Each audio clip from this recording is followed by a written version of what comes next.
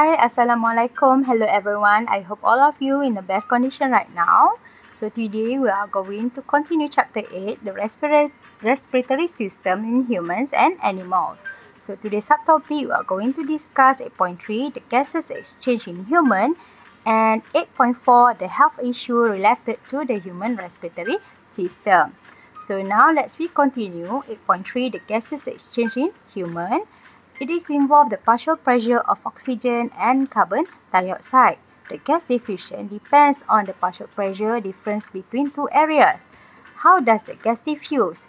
The gas will diffuse from higher partial pressure to an, to an area with a lower partial pressure. It is set down a partial pressure gradient.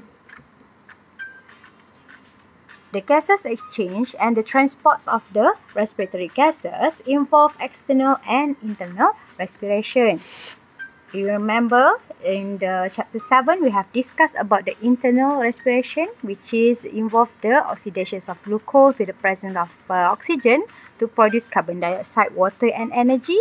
So the gases exchange occur between the lungs and the blood.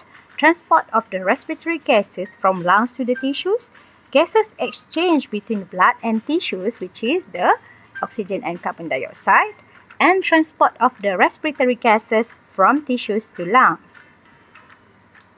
Now, let we discuss about the gases exchange between the lungs and the blood. In the lungs, the bloods that enter the lungs capillary contain high pressure pressure of carbon dioxide compared to the alveolus. It is said uh, it is known as the deoxygenated blood. So the carbon dioxide will diffuse out from the lungs capillaries to the alveolus. Then will be expelled out through the nose and mouth. Meanwhile, in the alveolus, which is contain higher partial pressure of oxygen than the lungs capillaries, so it makes the oxygen will diffuse into the lung capillaries, then combine with hemoglobin to form oxyhemoglobin in erythrocyte. Erythrocyte is the red blood cells. Now we are going to discuss about how the blood, which is uh, the lungs, will transport to the tissues.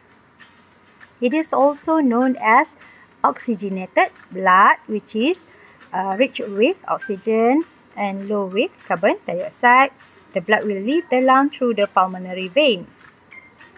At this time, it is said that high partial pressure of oxygen and low partial pressure of carbon dioxide when it reaches at the tissue capillary, the partial pressure of blood in oxygen is higher than the blood cells, sorry, in the body cell. This is because the cellular, the cellular respiration will use the oxygen to release the carbon dioxide.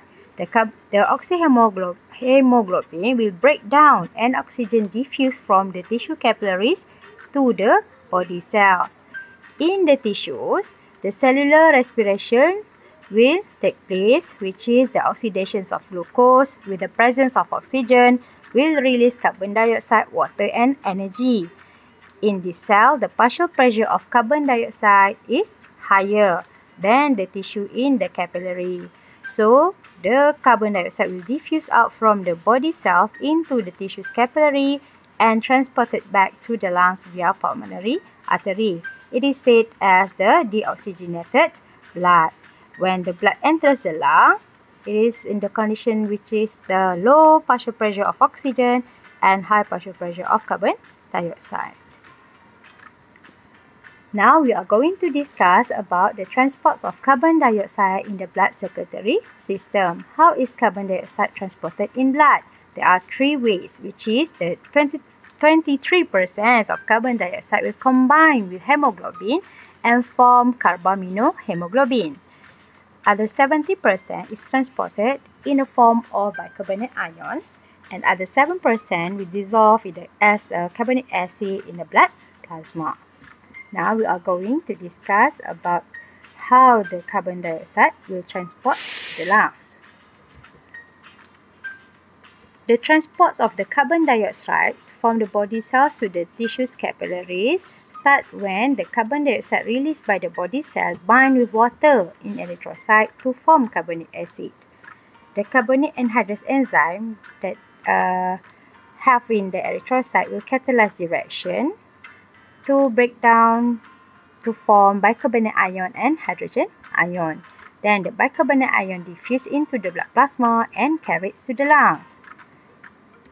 Then, once it reaches at the lung capillaries, bicarbonate ion in the blood plasma, it will diffuse back into the erythrocyte. The bicarbonate ion then will combine again with hydrogen ion and form carbonic acid. Then carbonic acid will break down into carbon dioxide and water. So carbon dioxide will diffuse through the lungs capillaries into the alveolus and expel during exhalation. This is the flow chart to help you to understand better how the carbon dioxide that produced during the cellular respiration in the body cells will be transported to the lungs and will be expelled out through the exhalation process. During the cellular respiration, the body cells will release carbon dioxide. So, this carbon dioxide will combine with water to form carbonic acid. This is occur in the red blood cell. In the red blood cell or in the erythrocyte contain carbonic anhydrase enzyme which is will catalyze this reaction and break down to form bicarbonate uh, to form the bicarbonate ion and hydrogen ion. This is uh, the breakdowns of the carbonic acid, right? So then the 70% of the bicarbonate ion we transport into the blood plasma and carried to the lung. And then once it reaches at the lungs capillaries, the bicarbonate ion will combine back with the hydrogen ion, this hydrogen ion, and form back the carbonic acid. Last but not least, the carbonic acid will break down and form carbon dioxide and water in the alveolus and then will expel out through the exhalation process.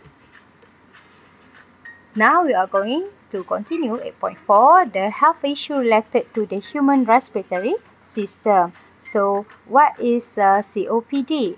COPD is the chronic obstructive pulmonary disease that includes asthma, chronic uh, bronchitis and emphysema. So as you can see the diagram here, there are several differences between uh, this COPD disease. Now let me discuss more details. Okay, what is emphysema? It is about the alveolar structure which is loses its elasticity and increase in size. As you can see here, uh, this is the normal alveoli, which is the alveoli that affected by the emphysema. The alveolus wall damage, the total surface area of the alveoli will decrease, and the gases exchange become less efficient. Next one is the chronic bronchitis, which is involve the parts of the bronchioles, which is the bronchioles will in become inflamed, swollen, and blocked. So this will cause uh, the reduce of blood flow of the air reduce the uh, so it will cause the difficulties in breathing. Large amounts of mucus will form, and so the person will continue is continuing uh, coughing and the mycelium will causes difficulty in expelling the mucus. Last but not least about the asthma which is also involved about the bronchial wall which is become swollen and thick and then the opening of the bronchial tube becomes smaller and air passage become narrower. So this leads to the difficulties in breathing and breathless for the person that suffer this disease.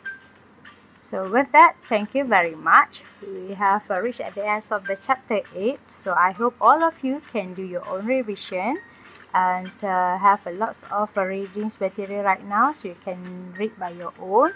Right, thank you for uh, your attention and hope to see you again. Thank you very much.